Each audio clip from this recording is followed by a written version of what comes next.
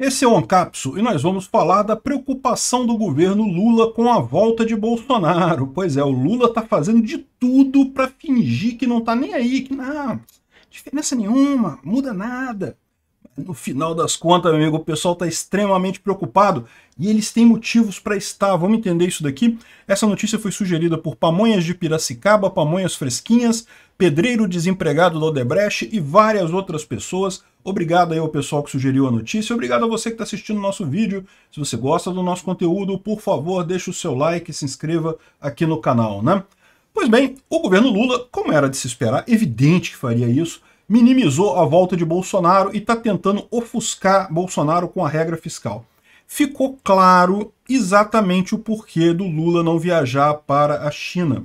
Ficou claro. Era essa a preocupação do Lula. Era a volta do Bolsonaro, que ia ofuscar o governo Lula. O Lula já está cheio de problema, já está com uma dor de cabeça danada, com Bolsonaro voltando, todo mundo falando de Bolsonaro e coisa e tal. A situação dele iria degradar, mas ia chegar no chamado risco Dilma 2. A gente vai entender esse problema, que realmente esse é o problema todo. É isso que o Dilma teme e está muito perto de acontecer. A verdade é essa, né? Pois bem, uh, olha só, aqui ele falou que o governo Lula minimiza a volta de Bolsonaro, soltou a regra fiscal e coisa e tal. E essa regra fiscal, a gente já falou sobre ela, já explicamos, já criticamos e coisa e tal, mas tem que lembrar essa regra ainda tem que passar pelo Senado, ainda tem que passar pela Câmara, ainda pode ser mudada no Congresso, então ainda tem muita coisa pela frente. Resolveram soltar a regra fiscal agora para ofuscar Bolsonaro, e não foi só isso. Ontem teve também a saída do Lewandowski. Por que, que o Lewandowski aposentou? Para tentar abafar a chegada do Bolsonaro. O governo está fazendo o que ele pode para criar outras notícias. Por quê? Porque está todo mundo falando da volta do Bolsonaro. A verdade é essa. Mesmo com a mídia toda tentando martelar aquela ideia que não, tinha pouca gente, quase ninguém foi esperar o Bolsonaro, o Bolsonaro já não é mais o mesmo, não sei o que lá. Ficou óbvio para todo mundo, na rede social todo mundo viu, eu expliquei o porquê, fiz um vídeo ontem explicando. Oh, o governo bloqueou a ida para o aeroporto, né, fechou, ninguém podia passar para ir para o aeroporto, proibiu o Bolsonaro de sair lá no aeroporto, estava cheio de gente no saguão do aeroporto. Ah, ele não podia sair por ali por motivos de segurança, né? Inventaram esse troço. Então, na verdade, o governo estava querendo evitar justamente que Bolsonaro saísse nos braços do povo lá do aeroporto.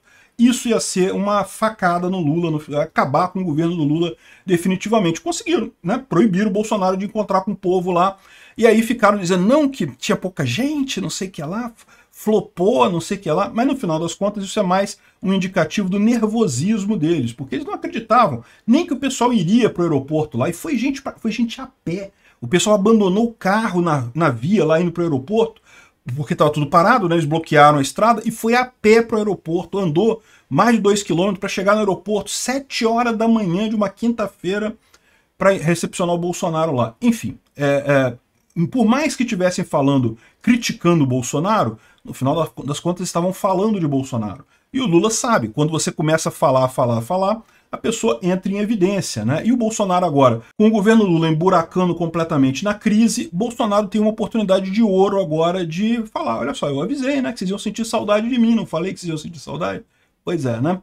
Enfim, o, o Lula está minimizando, falando da regra fiscal, tentando arrumar um monte de outras coisas. Ele mesmo disse que não vai falar nada que nem foi trabalhar no Palácio do Planalto, porque né, não queria é, é, encontrar com o Bolsonaro, não sei, não sei qual era o medo dele, né?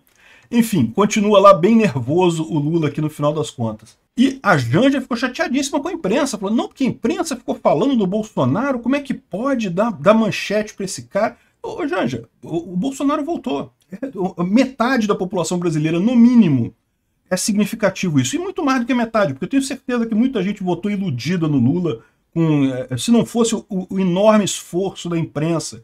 E sabe lá mais qual, em quais engrenagens circularam aí para fazer o Lula ganhar essa eleição. Não fosse esse esforço todo, é, é, é, Lula não tinha ganho essa eleição. Lula é minoria. Lula não tem o apoio da população brasileira. Lula é um ladrão, é chefe de uma quadrilha. O que a gente tem no governo brasileiro hoje em dia é uma quadrilha que quer roubar a sociedade brasileira. Infelizmente, somos reféns desse pessoal. Mas aqui ela ficou chateadíssima, porque disse que não, porque o pessoal deu muita, muita é, manchete para o Bolsonaro, que não pode, que isso vai ser combustível para fortalecer o opositor e coisa e tal.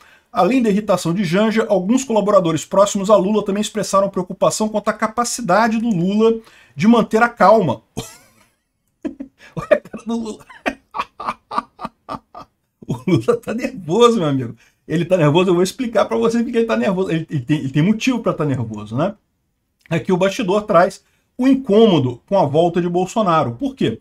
Bolsonaro pode ser que não faça nada. Aliás, eles estão até repercutindo aquela manchete da CNN, que era o maior clickbait, né? A CNN botou uma manchete assim: Bolsonaro diz que não fará oposição. E aí o pessoal botou aquilo ali, não, ó, tá vendo? O Bolsonaro não vai fazer oposição, não sei o que lá, mas é lorota. Se você vê é, o que o Bolsonaro falou, ele não falou que não vai fazer oposição, ele falou que o Lula não precisa fazer oposição ao Lula, porque o Lula já faz oposição a si mesmo. Ele já faz as merdas sozinho, né? Enfim, e uh, por diversos fatores, esse é o primeiro governo que não desfruta de um período inicial favorável com força no Congresso. Não, disputou. O que vocês estão vendo agora no Lula é o período favorável do Lula. Sim, esse é o ponto que eu tenho falando o tempo todo. Todo governo, depois do, do, início favorável, decai. Isso é normal, faz sentido. O presidente acabou de ser eleito, ele tem o máximo da popularidade dele, o máximo de ajuda do Congresso, depois decai. O que nós estamos vendo agora é o período favorável do Lula. É isso. Vai piorar, meu amigo. Vai piorar. É daqui para baixo. E com o Bolsonaro voltando, a perspectiva deles é que isso se acelere, né? Então ele fala que é cedo que Bolsonaro vai liderar a direita e coisa e tal. E fala que, olha só, ao se esconder na Flórida desde 30 de dezembro, Bolsonaro mostrou que não é aquele líder de luta que topa sofrer consequências. Não, pô, ele fez o esperto, ele fez o certo. Ele até ajudou o Lula. O fato dele ter saído para deixar a coisa acontecer tranquilamente aqui a posse do Lula e coisa e tal, foi para tranquilizar o país. O cara fez a coisa para favorecer a democracia brasileira. Esse papo que o pessoal acusa Bolsonaro de ser antidemocrata, de ser ditatorial e coisa e tal, não. Quem é ditatorial é o Lula. Quem, quem desrespeita a democracia brasileira é o PT, é o Lula, é o Alexandre de Moraes. Então, é, ao contrário do que diz a imprensa por aí, é óbvio, é só você ver as opções. Bolsonaro falava merda. Bolsonaro falava merda, isso é verdade. Sempre, sempre critiquei ele por isso. Agora, em termos de fazer as coisas, muito raras vezes ele fez merda. A maior parte das coisas ele foi para a direção correta, né? E ele teve que ir para fora também pelo motivo muito simples, porque é aquilo que eu expliquei para vocês. Ele iria ser preso. O Lula, entrando no início, os primeiros dias, com todo mundo empolgado, você acha que não ia ter um promotor e um juiz aqui no Brasil que ia inventar uma besteira qualquer para prender Bolsonaro? Ou depois do dia 8 de janeiro? Você acha que não ia ter alguma chance dele ficar livre aqui? É lógico que eu dar um jeito de prender ele imediatamente. E é aquilo que eu falei naquela época. Eu falei, olha só, Bolsonaro tem que esperar, porque rapidamente o governo Lula vai começar a fazer água, já está fazendo água, e agora aí ele vai poder voltar mais tranquilo. Por quê? Porque a, o foco da, do establishment político brasileiro já está em tentar salvar o Lula, já não é mais tentar bater no Bolsonaro. Eles querem tentar salvar o governo Lula porque eles sabem que está naufragando, né? E naufragando não ajuda ninguém, nem o próprio Estado, né? O Bolsonaro mandou um recado para o Lula, disse que o petista não fará o que bem quer, e a gente está vendo isso, o Congresso realmente tem voz ativa agora, e isso daqui é muito importante, né? Ele falou aqui, ó, eu lembro lá atrás, quando alguém criticava o parlamento, Ulisses Guimarães dizia: espere o próximo. E dessa vez o próximo melhorou muito. O parlamento está nos orgulhando pela forma de se comportar, de agir lá dentro, fazendo realmente o que tem que ser feito. Isso daqui, o que ele está falando aqui, é muito importante. Por quê? Porque é isso daqui, é isso que o Lula temia, é isso que, que o governo teme, e é isso que pode levar à pior tragédia para o Dilma que é o risco Dilma 2. O risco Dilma 2, como está explicado aqui pelo Nonato Viegas, é o quê? É o que aconteceu com a Dilma no segundo mandato dela. A Dilma perdeu totalmente sustentação no Congresso, ela não conseguia governar, ela não conseguia passar nada no Congresso, tudo ficava preso lá. E do jeito que a coisa está caminhando, está caminhando exatamente para essa situação. E com o Bolsonaro chegando e tomando a liderança do Congresso, porque olha só, esse tipo de frase, quem fala é quem quer liderar o Congresso. Ele está querendo falar: olha só, é isso aí, parabéns ao Congresso, estão faz fazendo o correto. Ele está querendo justamente esse papel. E ele tem toda a chance de conseguir. Existe muita gente dentro do Congresso que se elegeu graças a Bolsonaro, que sabe disso e que pretende se eleger de novo, e para isso precisa da ajuda do Bolsonaro. Então, essa turma certamente vai apoiar, mas muito mais do que isso, ele quer atrair o resto da oposição lá no Congresso, justamente para é, levar o Lula para esse problema. Né? O Lula está com o problema do risco Dilma 2 do Lula. O Dilma 3, o governo Dilma 3, está muito parecido com o Dilma 2, né? A verdade é essa.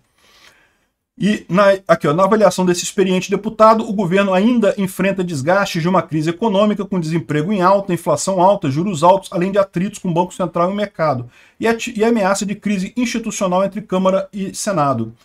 Nesse sentido, ele pode acabar na situação da Dilma. E aí, como que se resolveu a situação da Dilma? Como? Pois é, vai ser a única alternativa. Não vai ter outra alternativa. Impeachment do Lula está vindo aí. Eu espero que não demore tanto tempo. A Dilma ainda ficou um ano e meio no, no, poder ainda antes de ser impeachmentada. O Lula não pode ficar esse tempo todo. O Brasil não aguenta ficar mais um ano e meio para tirar um petista do, do poder. Temos que livrar desse pessoal o mais rápido possível. O fim do governo de Dilma, todos sabem, foi o impeachment. Lula é mais experiente, mas o risco de ficar refém do Congresso de sucessivas crises e não conseguir fazer um bom governo é real. Ou seja, o que ele está dizendo aqui é que acha que é pouco provável ter o um impeachment do Lula. Eu não, eu acho que é provável sim, eu acho que vai ter. Obrigado por assistir o vídeo até o final. Além de curtir, compartilhar e se inscrever no canal, considere se tornar patrocinador com valores a partir de R$ 1,99 clique no botão Seja Membro abaixo para saber as condições e vantagens de patrocinar o canal. Mais informações sobre o nosso projeto, visite nossos sites indicados na tela.